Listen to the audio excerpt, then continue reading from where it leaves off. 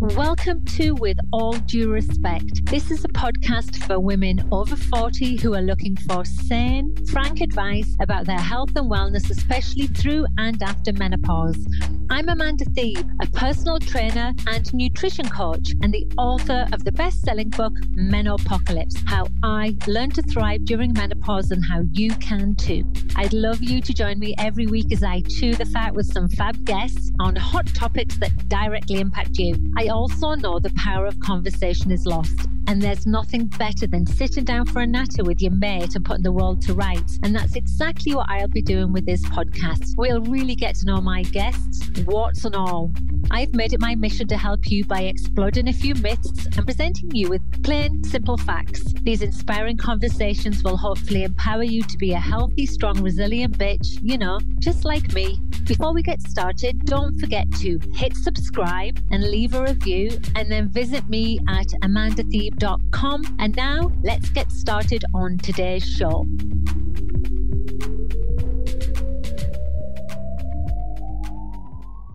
Hi, everyone. Welcome back to this week's episode of With All Due Respect with me, Amanda Thebe. Today, I am excited to have two guests on the show. I have Dr. Mandy Leonhardt and Dr. Hannah Short, who are the authors of the book, The Complete Guide to POI and Early Menopause.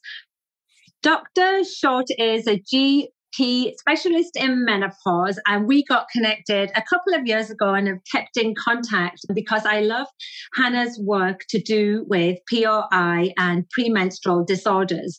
And Hannah has a particular interest in induced menopause and premature ovarian insufficiency, which is POI. And we'll dig into that a little bit more. And having undergone a hysterectomy and ovarian removal at the age of 35. And so that drives her passion. And so she collaborated with Dr. Mandy Leonhardt, who is also a GP with a menopause specialist based in Hampshire, which, by the way, is my family town. We'll talk about that in Romsey. That's where my family are all from. Mandy, brilliant name, by the way, is certified nutritionist with MNU and also certified ISGE practitioner, which is the International Society for Gynecological Endocrinology. Mandy has a particular interest in women's hormonal health, lifestyle medicine, and nutrition. And so, thank you both for coming onto the show today. Welcome. Thank you, Amanda. So I hope that introduction did you proud. I've had to like condense all of your massive experience and knowledge into just a few sentences, but it's because I want to spend the rest of the time really trying to understand why you wrote a book about POI and early menopause, why you thought it was important and what like drove the passion to get there. So do you want to start with this, Mandy? And we'll we'll mm-hmm. sort of get stuck in. Thank you. Well, so Hannah and me originally met on Twitter where we connected and it soon was clear that we both had a passion about raising awareness on menopause in general. And we were both really pleased to see that menopause, particularly in the UK, has become a, has become a talking point and there has been a real increase in awareness over the last few years. And you, you will have been aware of that as well, Amanda. I don't know what it's like in, um, in North America, but certainly in the UK, we were really pleased that uh, menopause has become a, a hot topic. It's, uh, you know, with regards to menopause support in the workplace and women in general are more open to seek help and talk about it. But what we have noticed is that there's a particular group of women that feel excluded because it's generally the, the, the natural age of menopause, which is on average 51, that is uh, gets a lot of the uh, the attention and gets talked about the most.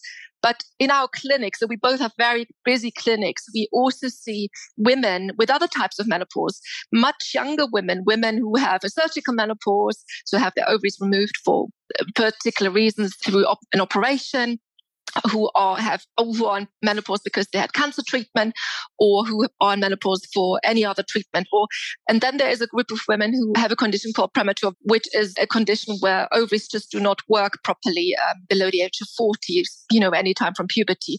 So we found that these women were often not part of the discussion and we wanted to include them and wanted to give them a platform and support because we cannot see all women in our clinic as much as we would like to see as many women as we can. We have limits as to how many patients we can see.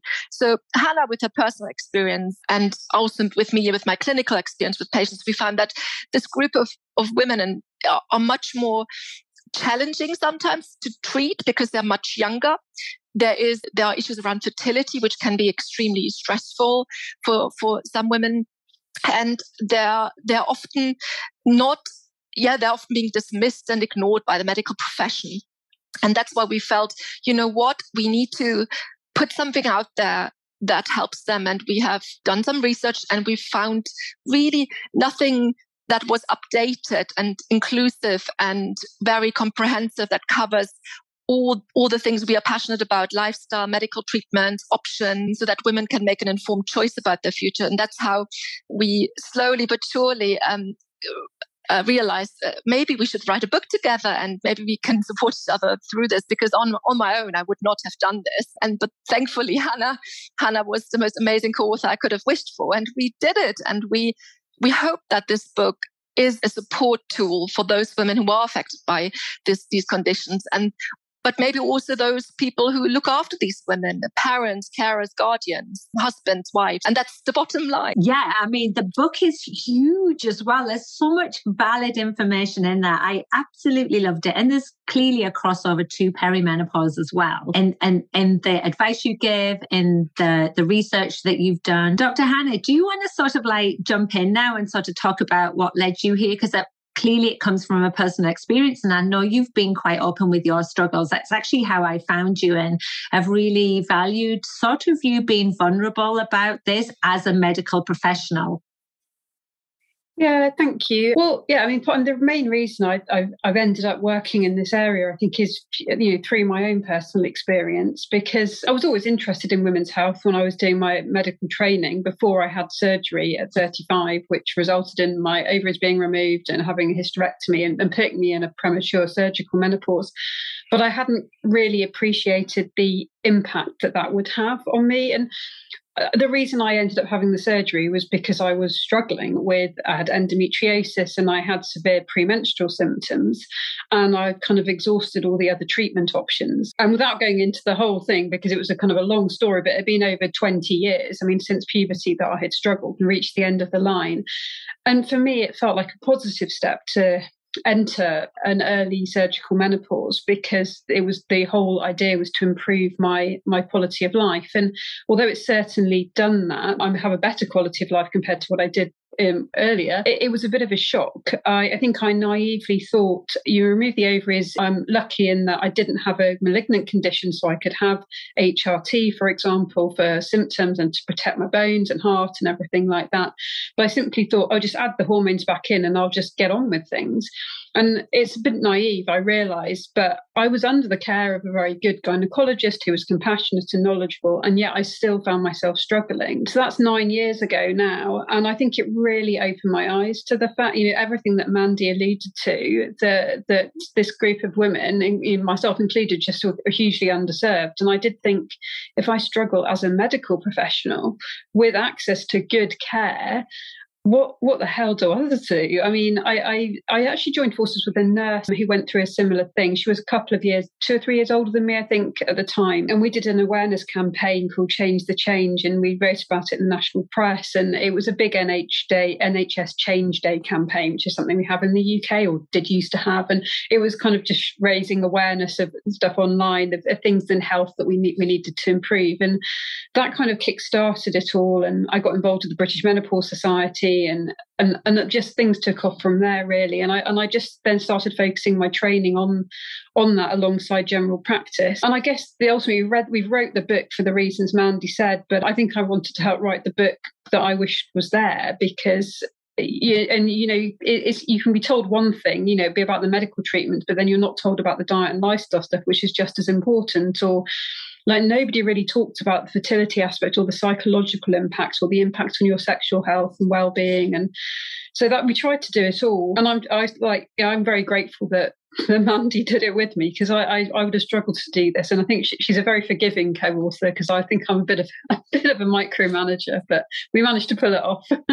yeah, I mean the dynamic of writing a book with someone I can only imagine, right? So I mean but that that was sort of why I wrote my book as well. I was like, I want a book that somebody should have given me, and that, and I love that you've done this. I think it's uh, such a great resource. I actually have a menopause resource sheet that I give out when I do talks and on my website, and it's included in there because I haven't seen a book like it. So I'm really happy that you you know, you got through all of that working as a couple, your book wife, and, uh, and it worked out. So let's just move on a bit because I want to talk specifically about the premature ovarian insufficiency because I mean, I'm aware of it. I don't know enough about it. I was under the impression it impacted women under the age of 40, about one in 10. And I know you're going to correct me on that. And I also get that it's been dismissed and ignored because regular menopause is, perimenopause is dismissed and ignored.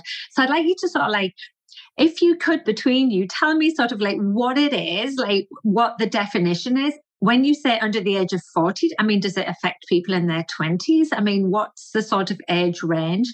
Why do you think it's being uh, dismissed and ignored? I'm assuming it's because it's just that lack of valid data that's there and it was missed in medical school again, like another thing that's dismissed. Yeah. So, like, what is. Well, so yeah, premature ovarian insufficiency or POI is, is probably the preferred term now for a decline in ovarian function or a premature menopause below the age of 40. And this can affect anybody born with ovaries. So you girls, women, or trans sorry transmasculine non-binary people who are under the age of 40 but any any age from from puberty upwards um, and it can present in very different ways. So, in my case, for example, I had my ovaries removed, and so that's very much a premature kind of menopause. Which and menopause, this is where some of the confusion can come in. There's a lot of different terminology. So, menopause refers to a permanent state.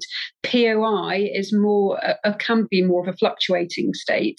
So, there's a decline in the ovarian function. So, the ovaries obviously normally will produce regular amounts of estrogen and progesterone throughout the menstrual cycle as an, an ovulation and eggs produced, ready to prepare, you know, the lining of the uterus for pregnancy. And if that doesn't occur, then you also shed the lining of your womb. And this, in theory, if you're healthy and you have regular menstrual cycles, this should occur.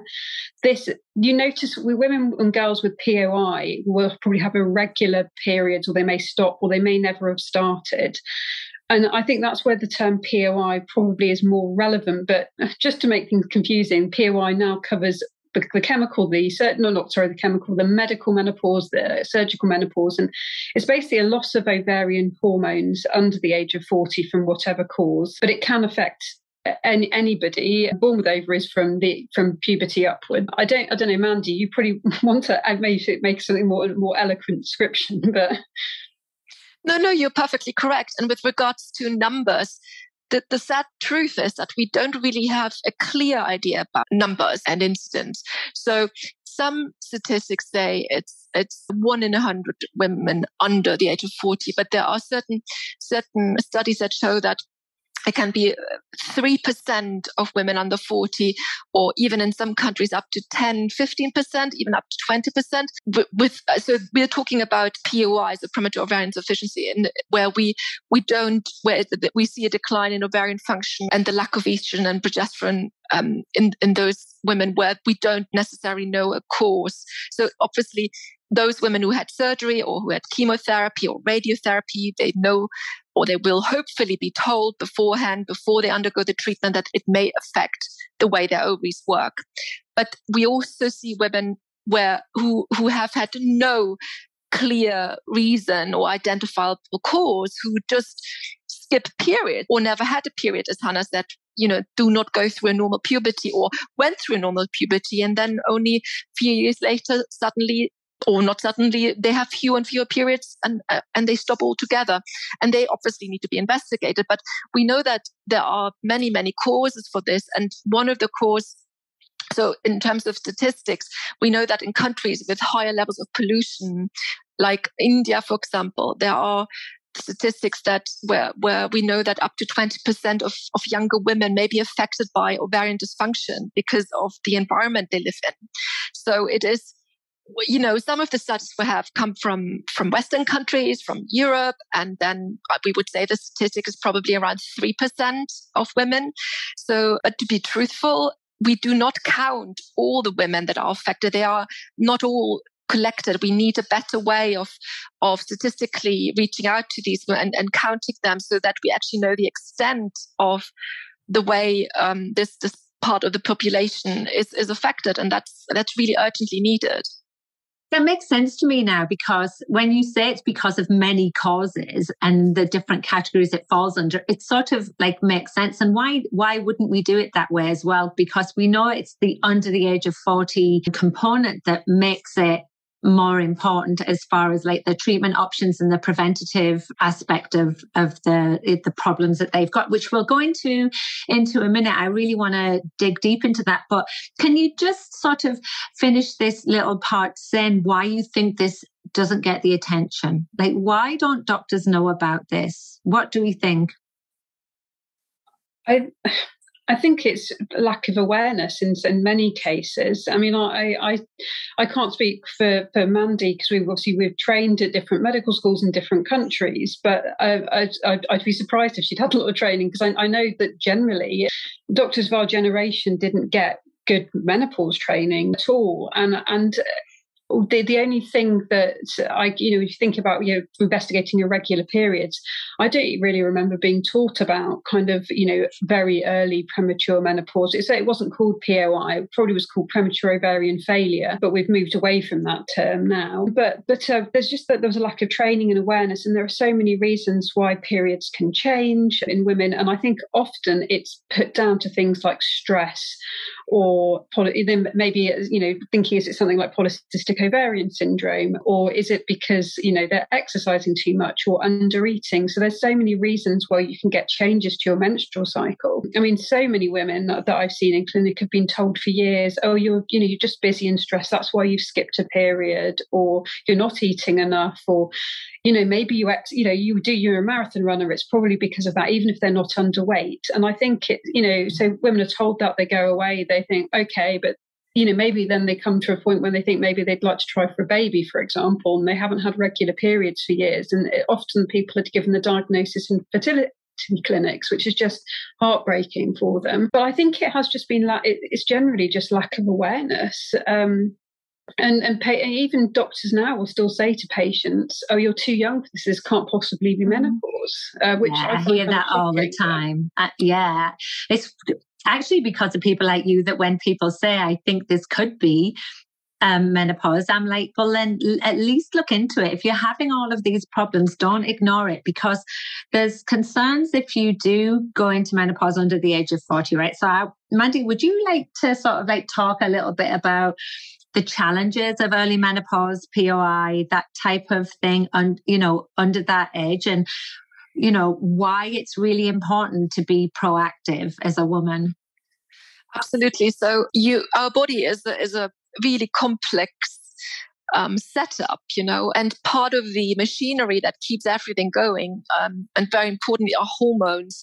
Hormones play an important role for our well-being, and there are many different glands in our body: thyroid gland, adrenal gland, um, and ovaries are just another gland, but they also happen to carry our eggs that help us to be reproductive, to be able to have babies. But they are an important part of the body because they make important hormones, including estrogen, progesterone, but also testosterone and, and other hormones that I, am not going to mention now.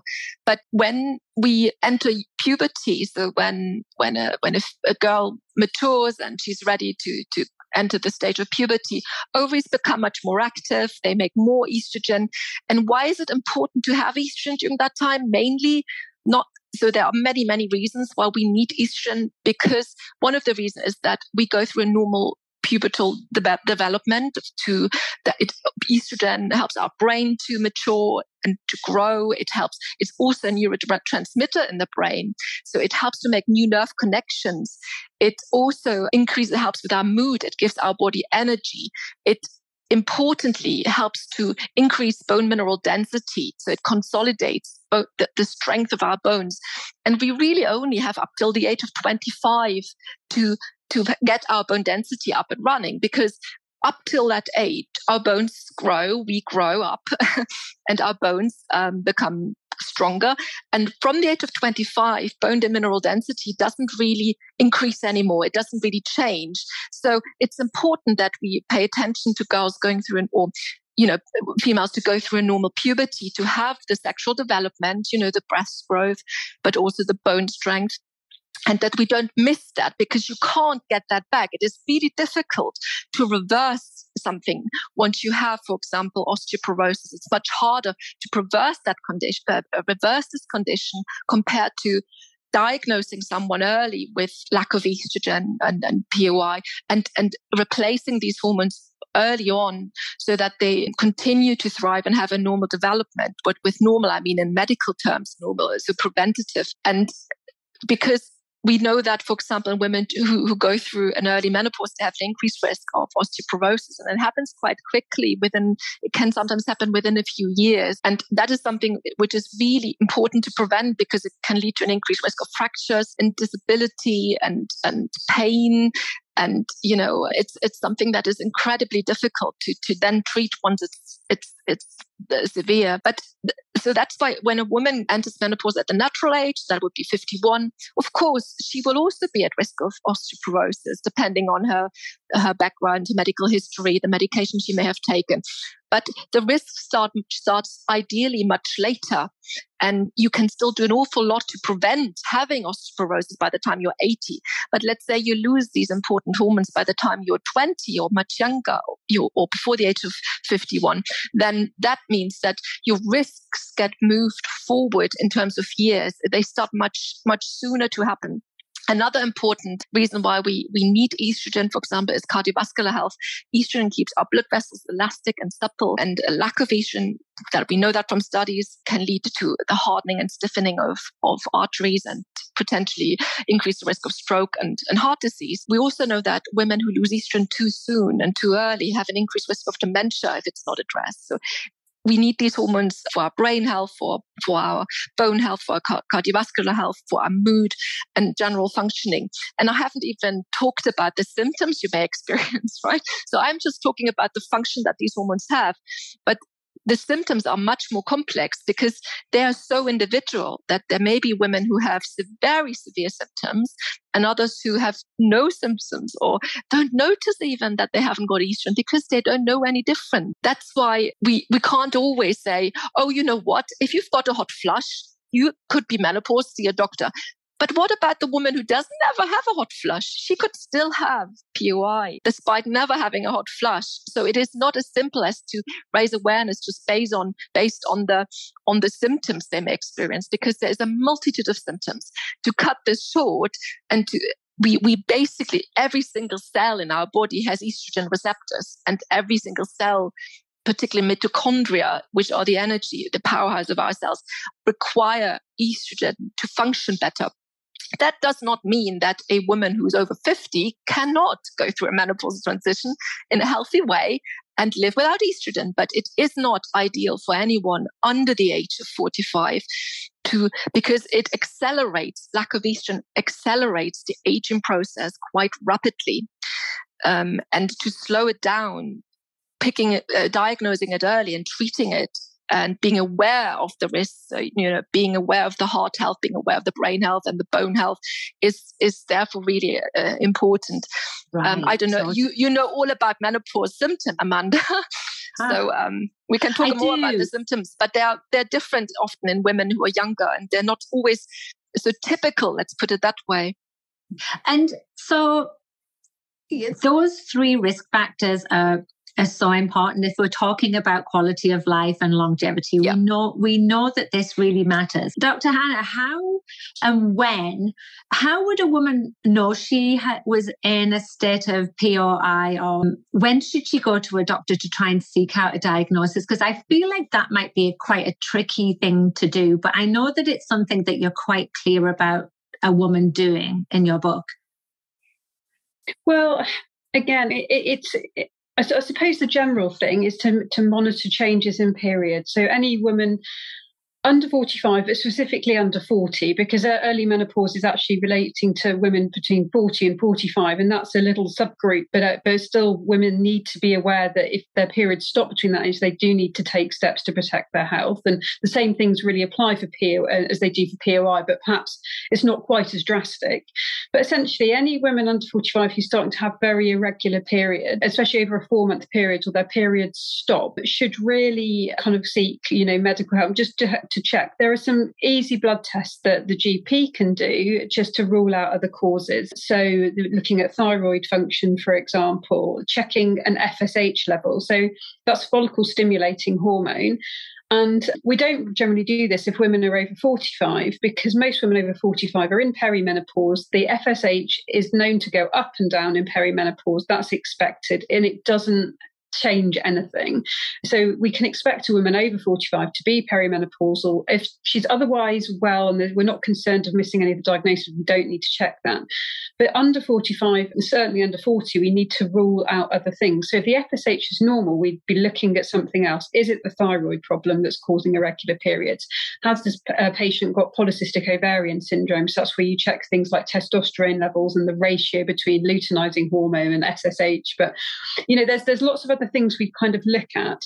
But the way that you would go is, is, is basically it's four months of having a change in your period or no periods at all would be, regardless of whether you have any other symptoms, you should see your, you know, your family doctor, your GP to kind of get some baseline tests. And to get a diagnosis of, of POI, you need two raised FSH levels, four to six weeks apart. That's the main thing. And, you know, there's some other tests you can kind of look at, but that's, that's the kind of baseline those girls who haven't started their periods, though, they're the other thing. So if by 15, 16 you've never had a period, then you should go to your doctor because the age at which girls start their periods is now much earlier than it used to be. But most women and girls should have started by 16. There will be a few, and they won't necessarily have POI who might start later, but but but uh, and it, they may still have a normal kind of reproductive life. But yeah, if you've never started your periods and you're kind of halfway through your teens, it would be good to get that checked out as well. And then in that situation, when you go to your doctor who isn't informed, is there a particular specialist they should be referred to, like an endocrinologist or a gynecologist? Who is the ideal sort of person to be having this discussion with?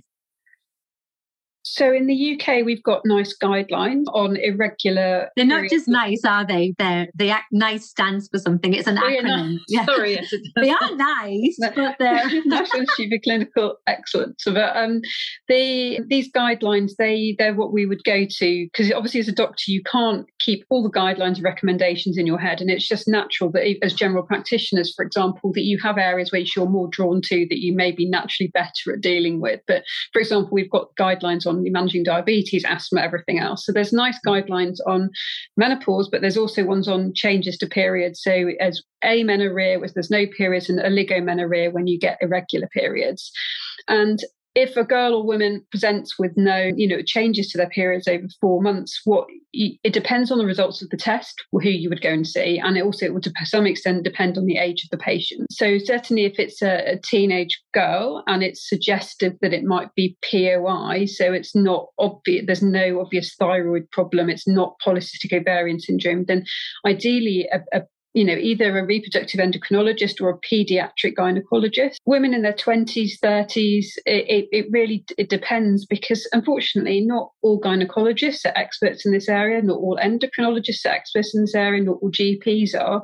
So you really need to find somebody with an interest in reproductive endocrinology essentially, but that can be quite hard. And yeah it's not it's not necessarily a straightforward thing and will be different in different countries but that's what you're looking for. But certainly in the uk it's hard for us to say an endocrinologist is the person to see or the you know the the gynecologist because it very much depends on that particular person in your area. It's a bit of a postcode lottery but well it's not much different over here in fairness. I mean like you say doctors have got their like leanings and their and their areas of expertise. And so yeah it's i think that i i always like to say to women at least try and be as educated as you can when you go into the doctors for a conversation because then you can have like valid like discourse with them right without being dismissed. Let's move on to treatment so in north america we refer to um, the medication of, hormones that a woman takes after the age of 45 is menopause hormone therapy I know in the UK it's still called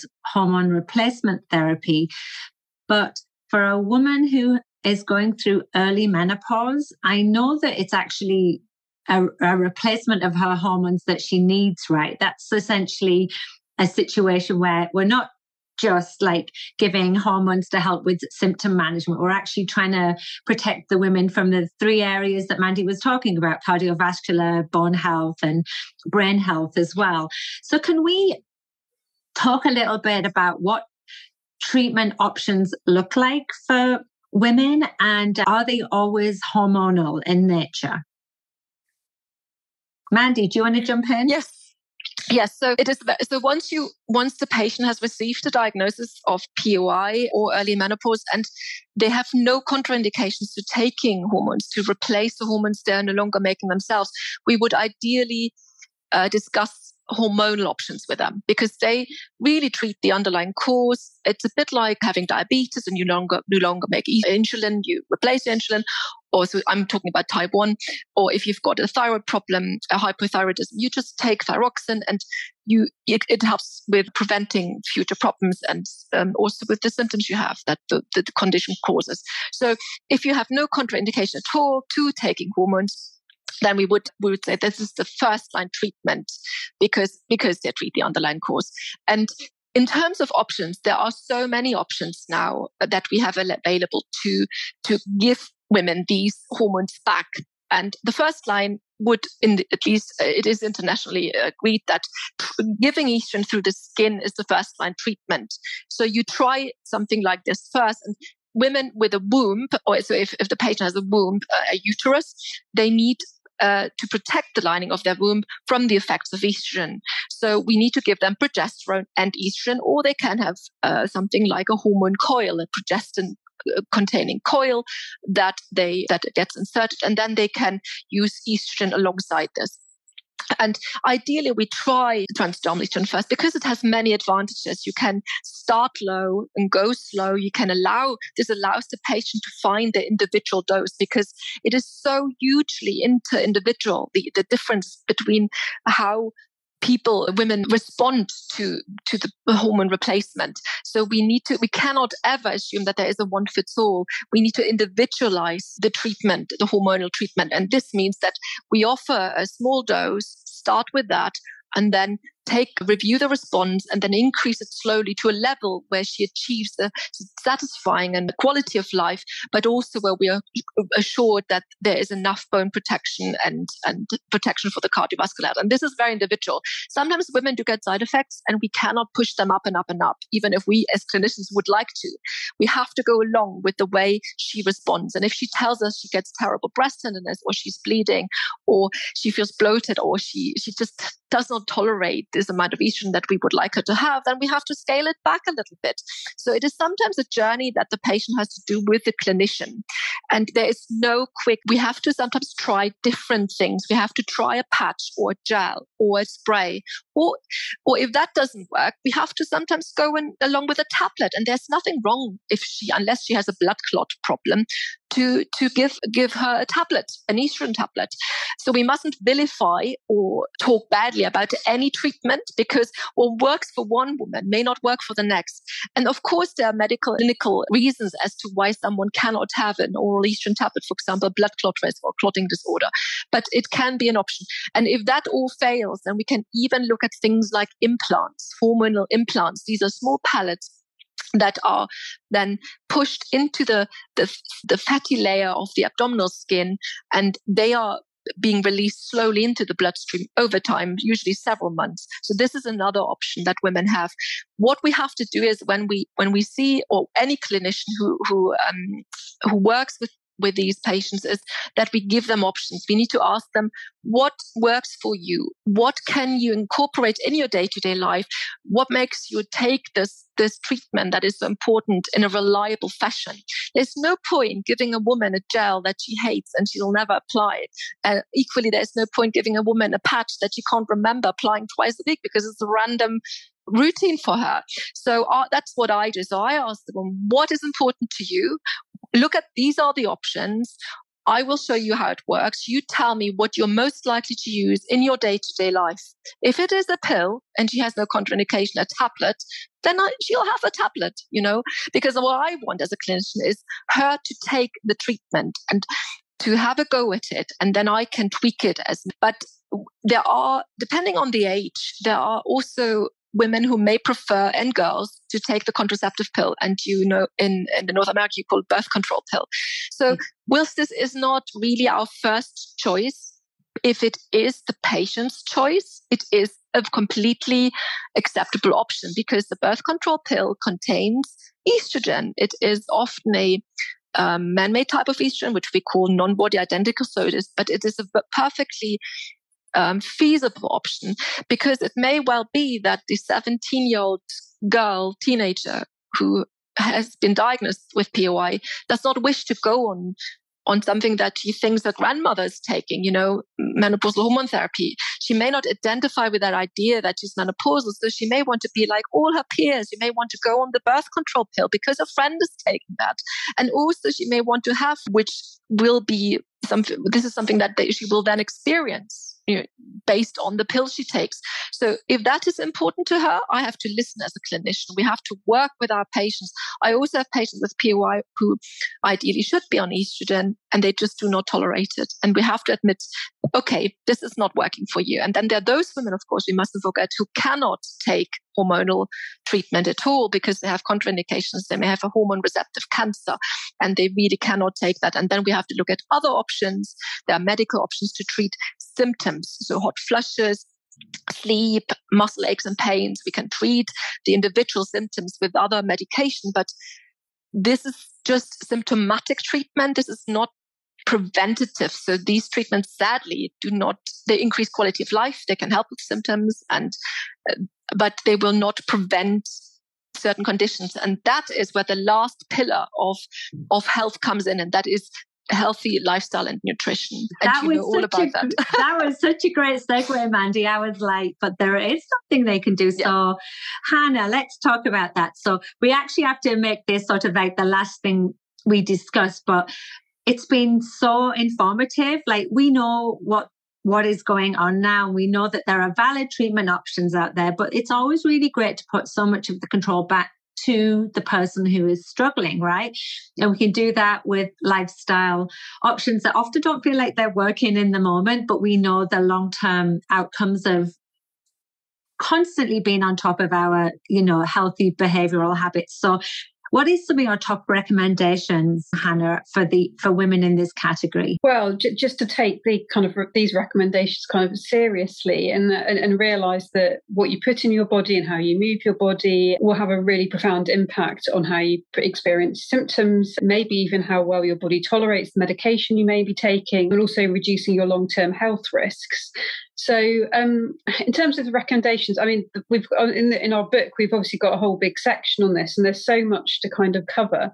But essentially, in dietary recommendations, it, it's it's a tricky one because it's called opening a can of worms when you kind of go down that route. But the general the general thing is there's no menopause diet, but there are dietary patterns that you should follow, and that's a, a, diet that's rich in in fiber and plant based food. So you don't need to follow an exclusively vegetarian or vegan diet, but you should have an abundance of fruits and vegetables and whole grains, legumes, you know, beans, nuts and seeds in your diet.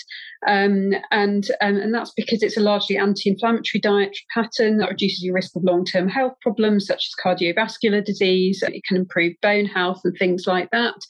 Um, can help in terms of mental well-being because of the the impacts on the gut microbiome and that's a whole other thing we could kind of go into but and it's uh, really antioxidant rich because a lot of people get caught up in the whole, you know, protein, carbs, fat debate. And obviously, some of that's important. You need to have adequate of all of those. But, you know, like a low, we don't advise a very low fat diet because you need kind of some healthy fats in your diet for good hormonal functioning. You need complex carbohydrates in your diet and you need protein in your diet. You know, you, we need all of these things, but people often forget the micronutrient things like, you know, iodine and the folate, a lot of the B vitamins, magnesium, things like that. So if you have a really varied plant rich diet, that's going to help you.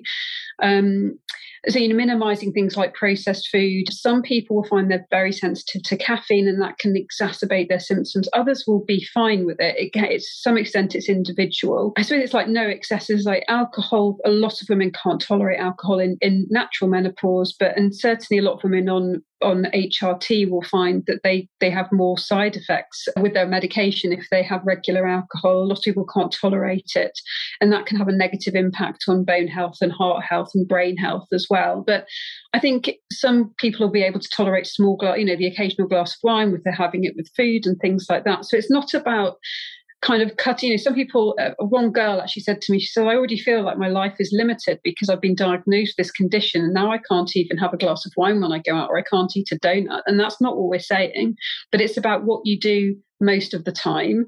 You know have healthy habits there and you can enjoy yourself and you you know it's 80% of the time that's what's important. So it's kind of building that into your routine. There is there should be room for enjoyment in terms of food and stuff. But obviously if you drink a bottle of wine a night that's detrimental to your health in, in so many yeah. ways not just relating to POI and exercise I think for me on a personal level, that's the thing that's made the biggest difference to me. I used to think it was all about my HRT. And then if I wasn't feeling so well, I'd think, oh, my HRT is just not working. And then I start to get a bit confused a couple of years in because I'm like, well, sometimes when I do this, my levels are okay. And then I look back and think, well, I've been quite stressed and actually I haven't been for a run or I haven't really done any exercise or I have been eating quite badly recently because I'm just tired and can't be bothered to cook, you know, that kind of thing.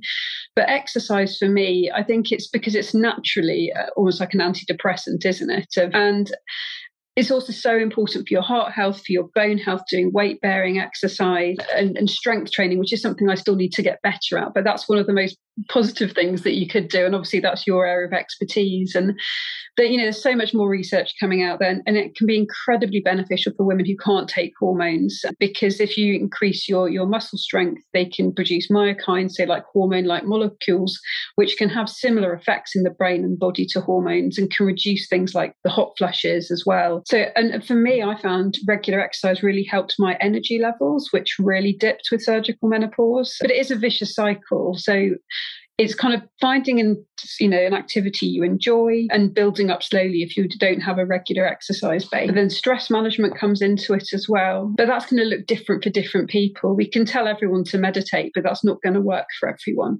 No, um, it looks different want... for everyone of course yeah. Exactly. So yeah I, I, I don't know. I mean there's more we could say but it, it's no, but they're the three big rocks that I like you know, harp on about. And it does look different to everyone. And it's really important that I think that women have like the flexibility and adaptability with their choices like not not one size fits all you know and so that's the problem with the world we live in we see so much information that says cut out this restrict that don't eat that and it doesn't serve anybody in the long term because it's really hard to have sustainability when you've got so many rules you know being thrown at you so listen, as we like tie all this together and we come to the end, I'm going to give you both a quick two minutes to give us some words of advice, like like just give some sort of like a life lesson that maybe you've learned from writing the book and some sage sage wisdom because you know women are, are desperate to be heard and validated because we haven't been especially in this area. So thankfully your book has addressed that. But yeah, leave us with some parting wisdom. You go, man. Thank you to put me on the spot. I know. well, there is so the wisdom is that no one really has a hundred percent solution for any problem in the world, and that includes medical conditions. But that doesn't mean that there is not always hope and that there isn't always something else you can try. And if you feel dismissed by a doctor or if you feel you're not being listened to, then don't blame yourself. It, it, find another doctor. See someone who does listen, who makes an effort to understand your symptoms, your quality of life, what you're struggling with, and get the help that that you need in a realistic way and and if one thing doesn't work straight away try something different and work many with different different people with different backgrounds and expertise. So you may, there's nothing wrong with having some counseling to talk about the way you deal with this diagnosis, how it affects you, how it makes you feel like an outsider because no one else has it in your age group. So seek some mental health support, seek physical health support, you know, have a personal trainer to get you get you on on the right path to start with some exercises, simple things you can do if you can afford it. And you know what? YouTube is full of of of, of good quality and and follow Amanda on Instagram. She shows you how to do the plank. 30 seconds a day. but start with with these small things seek different if you have to to to build on uh, you know to find different puzzle pieces to your overall well-being don't give up and do find people in your life that have your well-being at heart that you can share this with that have a positive influence on the way you feel. If someone does not want to hear a close friend or family member who, who does not want to hear about the way what you're going through, then that's okay. But it's fine if they accept that. But it is important to make positive connections with people, to share it in a meaningful way, because if you bottle it up, if you just worry about it and you have to carry the burden of this diagnosis and the long term problems that you're facing on your own, it's not something anyone can do. But sharing the problem is halving the problem. And that would be my advice. Find people who have a positive impact on your life, whoever that might be family, friends, healthcare professionals, anyone like, you can connect yeah. with. I really like the, you know, don't blame yourself narrative as well, because that's where we go. It's our knee jerk reaction. I'm a failure. I'm doing something wrong. About you, Hannah?